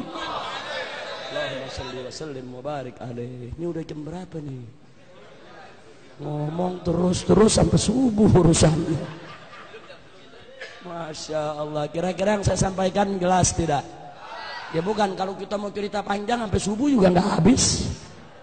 Iya Masya Allah. Tapi saya sedang ini hari. Masya Allah. Majelis serang ini. Mudah-mudahan oleh Allah dijadikan masjidan toyiban. Masjidan solehan. Masjidan mubarakan. Amin. Ya Rabbal Alamin. Nah sebagai penutup. Saya ingin memanfaatkan kesempatan ini untuk memberikan sejumlah informasi sekaligus untuk klarifikasi insya Allah sebagaimana anda sudah sama tahu bahwa sejak tahun 98 saya tidak sendiri saya dengan kawan-kawan dari kalangan para habaib, para kiai, para ustadz kalangan santri, pondok pesantren dan lain sebagainya mendirikan organisasi Front Pembela Islam. FPI ini bukan partai politik. FPI ini adalah organisasi Islam yang bermadhab akidah Ash'ariyah dan bermadhab fikih Syafi'i. Artinya FPI adalah organisasi Ahlus Sunnah wal Jamaah. Nah, FPI banyak fokus pada bidang hisbah, amar ma'ruf nahi munkar. Tapi bukan berarti dakwah tidak kami kerjakan, bukan. Dakwah kami kerjakan juga. Jihad kami geluti juga. Pada saat terjadi pertikaian di Ambon, di Poso, kami kirim anak-anak muda kami untuk bertempur di sana bersama umat Islam yang lainnya menyelamatkan kaum muslimin. Bahkan sampai hari ini posko-posko kami di Ambon maupun di Poso masih tetap dalam keadaan siaga. Kami tidak mau lagi kecolongan seperti dulu. Nah kemudian tidak sampai di situ. Kita juga peduli dengan jihad yang ada di Palestina, yang ada di Rohingya, yang ada di Kashmir, yang ada di Thailand Selatan, Patani, yang ada di Moro, dan lain sebagainya. Tapi memang di Indonesia yang banyak disorot adalah amar ma'ruf nahi munkar. Yang ingin saya sampaikan singkat saja bahwa kami FPI betul kami tidak menolak atau tidak memungkiri bahwa sering terjadi clash bentrok antara kami dengan pengusaha-pengusaha maksiat dengan preman-preman yang membekingi berbagai macam tempat maksiat. Hanya yang perlu saya klarifikasi bahwa dalam prosedur perjuangan Front Pembela Islam, posko FPI mana saja di seluruh Indonesia, manakala ingin berjuang menutup suatu tempat maksiat, wajib untuk memulai dari dakwah terlebih dahulu. Jadi nggak boleh ujuk-ujuk amar ma'ruf nahi munkar nggak boleh saudara. Dakwah dulu. Itulah yang kami sebut prosedur standar. Jadi kami mulai dakwah dulu dengan cara bagaimana? Dengan cara saudara memberikan nasihat kepada yang punya tempat maksiat. Kalau udah nggak bisa, Kami laporkan kepada yang berwenang, baik mulai dari RT, RW, lurah, camat, bupati, sampai kepada gubernur. Begitu juga tentara, polisi, kami surati dan semua kami arsipkan. Nah kalau itu semua juga nggak didengar, kami minta ketemu, kami minta dialog. Kami dialog ke DPRD, kami dialog dengan gubernur, kami dialog dengan pemilik maksiat. Karena kita nggak boleh nutup pintu dialog, saudara. Nabi sendiri dulu diajarkan oleh Allah kepada orang kafir pun dialog. Wajadil humbilatih ya ahsan. Nabi disuruh dialog sama orang kafir aja kita mesti dialog. Apalagi yang bukan kafir, saudara. Wajib untuk dialog. Nah kalau dialog-dialog ini tidak membuahkan hasil, kami mengambil jalan lain, yaitu dengan melakukan demo. Demo itu pilihan berikut. Nggak ada ujuk-ujuk demo, saudara. Demo itu maksudnya unjuk rasa. Mungkin selama ini kami kirim surat, hurufnya kekecilan pejabat nggak bisa baca. Jadi kami demo pakai sepanduk hurufnya gede biar pada baca. Itu kan filsafatnya saudara. Mungkin selama ini kami dialog dengan bahasa lembut nggak kedengeran. Jadi kami datang demo pakai speaker yang gede. Biar semua dengar suara itu saudara. Nah kalau itu sudah tidak mempan juga, nah kami ada tahapan-tahapan lain. Tahapan ultimatum, tahapan peringatan, dan seterusnya. Kalau semua jalan mentok, maka kami kembalikan ke masyarakat yang melaporkannya. Jadi kita FPI nggak ujuk-ujuk masyarakat yang lapor. Nih di kampung kami ada tempat judi nih, bagaimana? Kami tuntun. Itu prosesnya bisa 6 bulan, bisa satu tahun, bisa dua tahun. Kami tunggu dengan sabar. Kalau bisa ditutup tanpa ribut, kenapa sih mesti ribut, saudara? Nah biasanya kalau udah setahun, dua tahun gagal, kami kembalikan masyarakat. Kami kumpulkan masyarakatnya, Bapak, Ibu, laporan Anda sudah kami terima, sudah kami laksanakan. Ini bukti-bukti kerjaan yang sudah kami lakukan, tapi semua batal, gagal. Sekarang terserah Anda maunya apa. Nah kadang-kadang masyarakat ambil jalan, ya udah. Kalau memang ini semua sudah gagal, pemerintah tidak mau tahu, kami masyarakat yang akan bertindak. Pada posisi itu, FPI akan ikut masyarakat, saudara. Apa pun resikonya, walaupun resikonya kami akan dikatakan melanggar hukum, main hakim sendiri, mengambil wewenang polisi, yang jelas kami sudah mengikuti prosedur yang ada. Kenapa kami prosedur? Karena kami menghormati pemerintah. Kita nggak boleh melangkai pemerintah. Kita nggak boleh melangkai umarok, saudara. Kita nggak boleh eh, sebelum kita lapor ke Umaro, kita main hakim sendiri. Haram. Pemerintah kita angkat untuk melaksanakan tugasnya. Cuma yang jadi persoalan, manakala pejabat dengan penjahat berkolaborasi kerjasama dalam maksiat, masyarakat hanya ada dua pilihan. Satu, duduk jadi penonton saja, atau berdiri melakukan perlawanan. Kami dari FPI milih yang kedua, kami diri, kami lawan. Kami nggak mau untuk menjadi penonton, saudara. Nah, yang begini inilah pada akhirnya begitu bentrok baru masuk TV, saudara. Nah, jujur aja saya mau tanya, FPI lagi dialog, emang ada di TV? FPI tulis surat, emang masuk di TV? Nggak ada. FPI demo damai sambil tahlil fikir ada di TV. Giliran ngegerbek baru masuk TV. Kami turun di Aceh 1.300 laskar FPI termasuk dari Jawa Timur. Dari Jawa Timur ini hampir 400 pemuda kami kirim ke Aceh pada saat terjadi tsunami. Empat bulan kita kerja 100 ribu mayat kita evakuasi. Kita cari mayatnya, masukkan ke kantong mayat, sholatkan, kuburkan. 100 ribu mayat. Ada masuk TV? Gak ada turun di Padang, turun di Jogja, turun di berbagai daerah bencana, bangun sekolah-sekolah darurat, bikin dapur-dapur umum saudara, buat juga kesehatan-kesehatan gratis untuk para pengungsi. Ada masuk TV. Tapi giliran FPI lagi ngemplang liberal, masuk TV. Tiap hari disetel. Kejadiannya sekali, disetelnya tiap hari. Udah lima tahun, masih disetel lagi. Tinggal orang Jawa Timur yang nggak tahu apa-apa. Kok FPI ngemplang melulu tiap hari ya? Masya Allah. Tapi nggak apa-apa. Ini adalah perjuangan. Ini namanya perjuangan, dinamika. Nggak apa-apa. Memang kami tidak punya TV, kami tidak punya radio, kami tidak punya media. Tapi yakinlah, kalau ada orang yang membenci FPI karena salah informasi, kami yakin. Begitu suatu ketika dia mendapat informasi yang benar, kebenciannya akan hilang. Kalau dia benci karena salah paham, kami yakin suatu saat begitu salah pahamnya hilang, kebenciannya akan ikut hilang, saudara. Kalau dia benci, saudara, e, karena memang dia tidak kenal, dia belum tahu, wajar. E, karena yang namanya manusia, anas ada umajahilu. Manusia itu adalah musuh dari apa yang dia tidak tahu. Tapi suatu ketika dia tahu, insya Allah dia tidak jadi musuh lagi.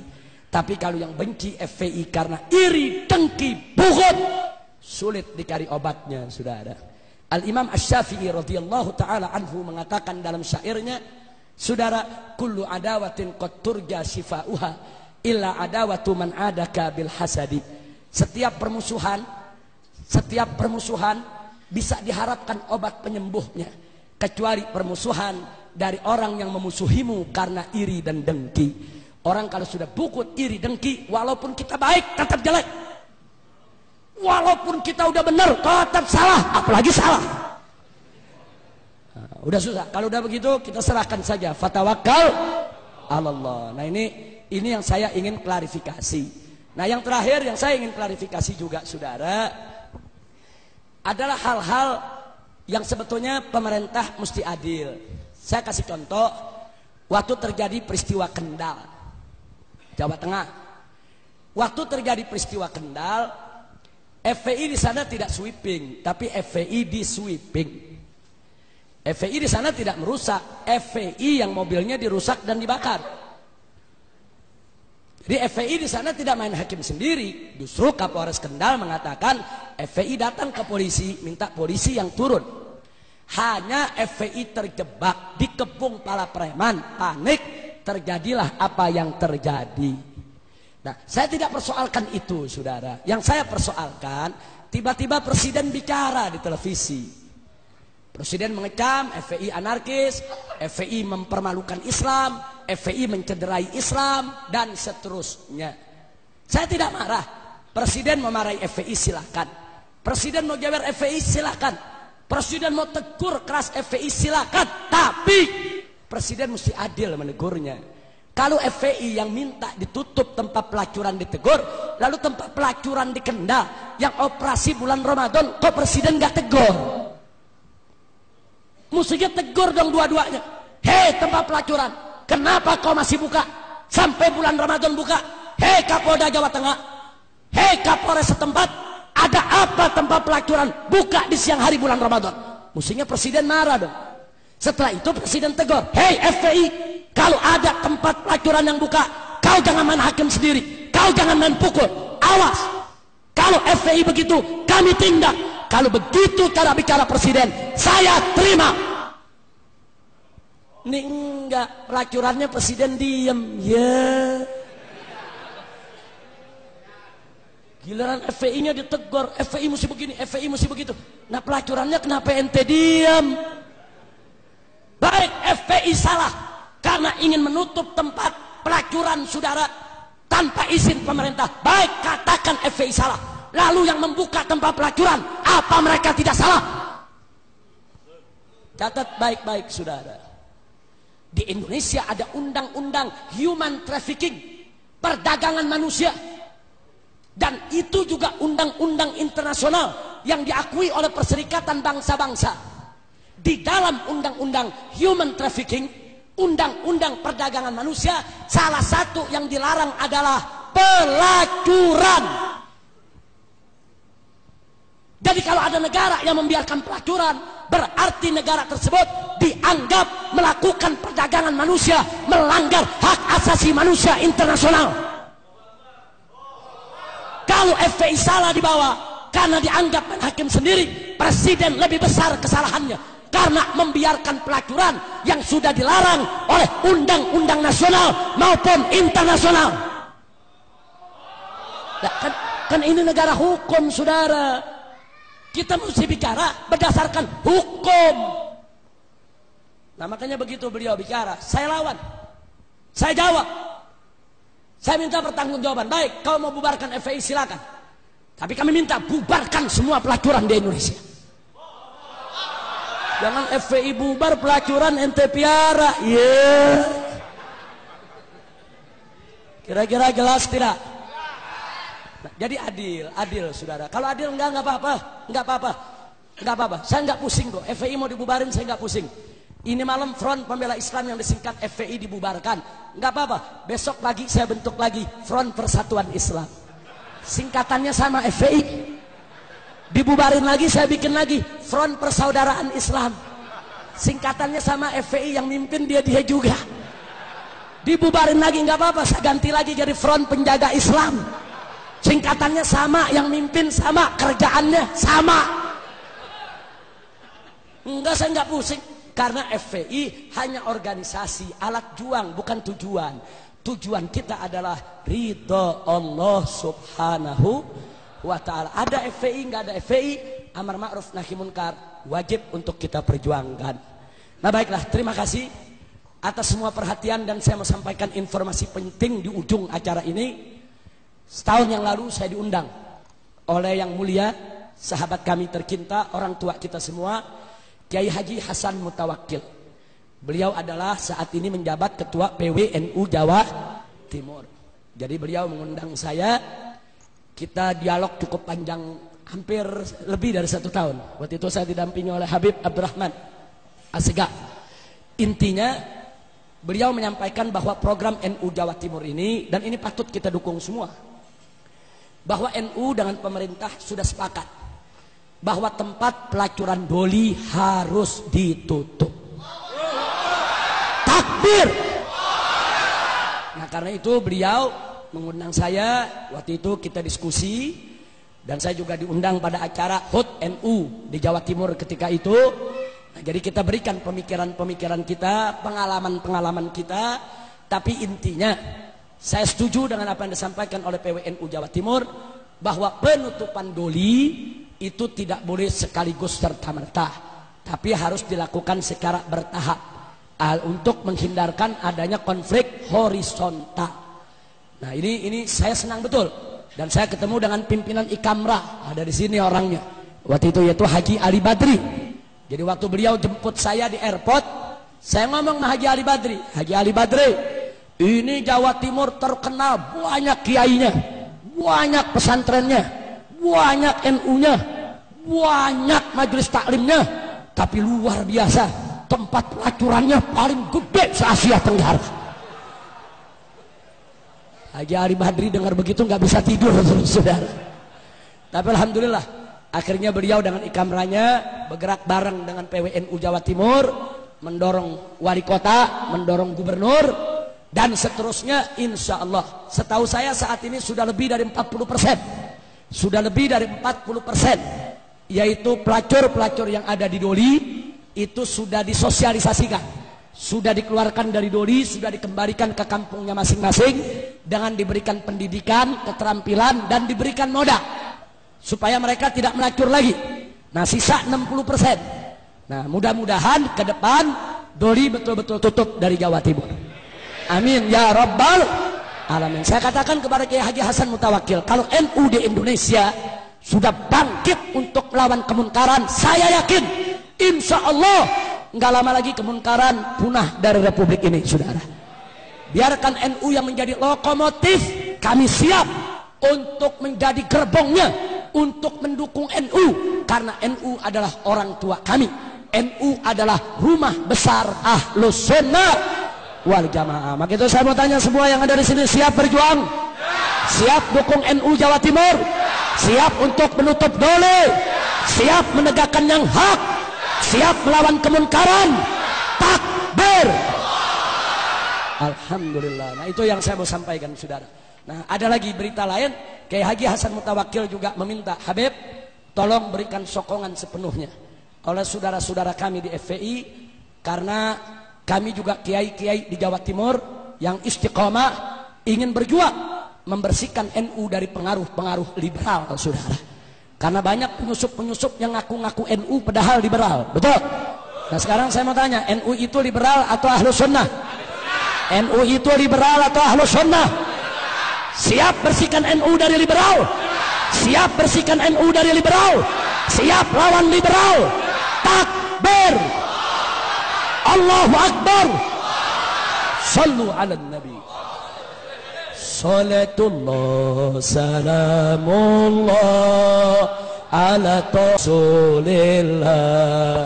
Salatullah salamullah ala Yasin Habibillah. Semua salatullah salamullah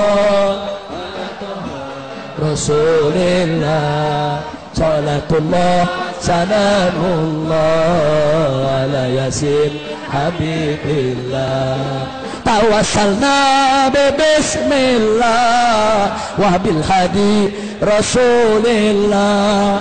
توسلنا ببسم الله وبالهدي Hadi Rasulillah وكل مجاهد لله بأهل البدر يا الله.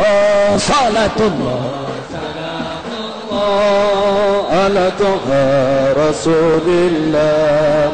صلاة الله سلام الله على يسير حبيب الله. إلهي سالم الأمة من الآفات والنقمة إلهي سالم الأمة من الآفات والنقمة ومن هم ومن غمة بأهل البدر يا الله صلاة الله طه رسول الله. صلاة الله سلام الله على يسر حبيب الله. إلهي اغفر وأكرمنا بنعمة منا. إلهي اغفر وأكرمنا بنعمة منا. ودفع مساءة عنا بأهل البدر يا الله. صلاة الله سلام الله.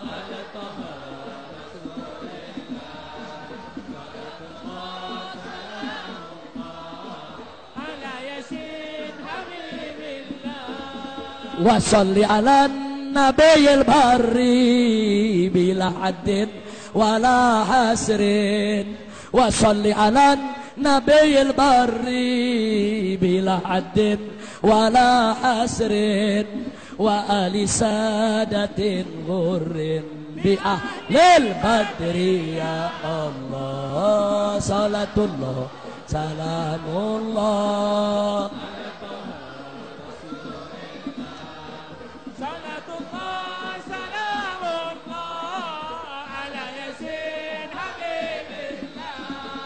صلاة الله سلام الله على طه رسول الله. صلاة الله سلام الله على ياسين حبيب الله. صلاة الله. إلهنا يا غفار الذنوب ويا ستار العيوب ويا مفرج الكروب ويا مقلب القلوب.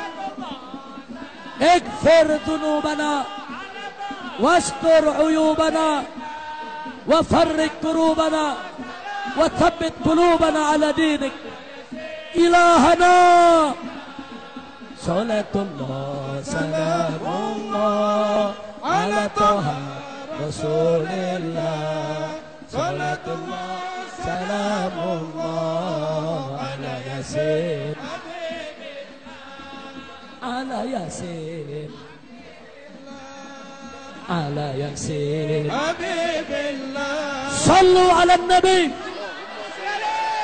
Allahumma salli wa sallim wa barik alaih kepada kaum muslimin rahimakumullah Alhamdulillah malam hari ini mudah-mudahan kita semua diberkahi oleh Allah dan semoga kita sampai akhir hayat tidak bergeser dari akidah ahlus sunnah wal jamaah jaga persatuan jaga akhlak dan jaga keamanan ketenangan semoga Allah memberkahi kita semua insya Allah. Nah karena itu saya mau tanya sebelum saya akhiri semua.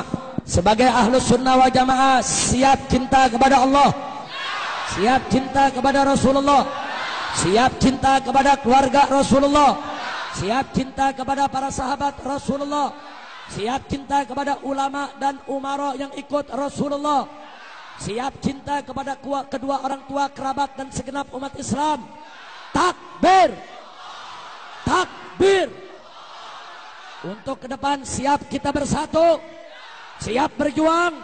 Siap mati di jalan Allah. Takbir. Alhamdulillah. Nah itu yang saya mau sampaikan. Dan tolong doakan. Saya hari ini nggak bisa mengklarifikasi masih banyak lagi sebetulnya persoalan. Ada persoalan Lamongan, ada masalah miswood di Bali, ada masalah-masalah yang lainnya. Tapi tolong doakan. Mudah-mudahan sampai akhir hayat kita semua umat Islam tidak akan bergeser untuk menegakkan Islam di bumi Indonesia yang tercinta. Amin ya rabbal alamin. Nah, saya perkenalkan, saya datang tidak sendiri, saya didampingi oleh kawan-kawan. Di sini ada sahabat saya Habib Abdurrahman Bahlega Segaf dari Pasuruan. Beliau salah satu ketua Dewan Pimpinan Pusat Front Pembela Islam. Kemudian di samping beliau ada Kiai Haji As-Syekh Misbahul Anam At-Tijani Beliau salah satu mursid di Torikoh Tiganiyah dan beliau juga salah seorang pimpinan di Dewan Pimpinan Pusat Front Pembela Islam. Kemudian yang berikutnya ada Kiai Haji Abdul Qahar. Sengaja saya bawa kemari. Beliau adalah ketua Front Pembela Islam Provinsi Jawa Barat. Kemudian di sini masih ada bersama kami yaitu saya punya anak menantu Habib Ahmad Fikri Bafaraj yang masih kuliah di Azhar Mesir tapi saat ini sedang berlibur dan mengikuti safari dakwah ini. Mudah-mudahan Allah memberkahi safari dakwah ini. Saya akan berada di Jawa Timur insya Allah sampai hari Ahad depan. Masih banyak acara di Pasuruan, di Malang, di Probolinggo, di Sampang, di Bangkalan. Mudah-mudahan semuanya manfaat untuk urusan dunia dan akhirat kita. Nah, yang terakhir, tolong diperhatikan saya serius betul, saya serius betul mengajak Anda semua untuk berdakwah kepada mereka yang berbeda dengan kita. Saya serius supaya mereka kembali ke jalan yang benar. Setuju? Kami tidak main-main. Kami FPI dengan Ahmadiyah itu dari tahun 2003 kami berhadap-hadapan. Terus kami perangi. Terus kami pengen bubarkan. Tapi sampai hari ini kami tetap tidak menutup pintu dialog dengan Ahmadiyah. Tahun 2009 kami bangun masjid di kampung Ahmadiyah di Tenjo Waringin yaitu Kabupaten Tasik, Jawa Barat. Itu sampai tahun 2013 ini sudah hampir 800 orang Ahmadiyah kembali masuk Islam. Alhamdulillah. Jadi nggak betul itu fitnah itu. Oh FPI mau bunuh Ahmadiyah. FPI mau bantai Ahmadiyah. Fitnah. Kami tidak akan ganggu mereka secara fisik. Kalau mereka tidak mengganggu kami secara fisik. Jadi sampai saat ini di sini ada Kiai Haji Abdul Qahar. Kalau nanti pengurus ada yang mau bertanya kepada Kiai Haji Abdul Qahar, ada berapa ribu Ahmadiyah di Jawa Barat yang sudah kembali ke dalam ajaran Islam. Jadi kami nggak berhenti dakwah. Jadi sekalipun kami lawan Ahmadiyah, kami kafirkan Ahmadiyah, kami sesatkan Ahmadiyah, tetap kami dakwah, kami ajak mereka secara baik-baik, lembut, ramah, santun, arif, bijak, dan akhirnya mereka banyak yang kembali. Mudah-mudahan semua Ahmadiyah kembali kepada jalan benar. Nah itu saja yang bisa saya sampaikan. Jadi sekali lagi, saya serius. Ingin mengajak semua, ayo kita berdakwah. Ajak semua umat Islam untuk ikut jalan ahlus sunnah wal jamaah. Mudah-mudahan Allah memberkahi kita semua. Itu saja yang bisa saya sampaikan.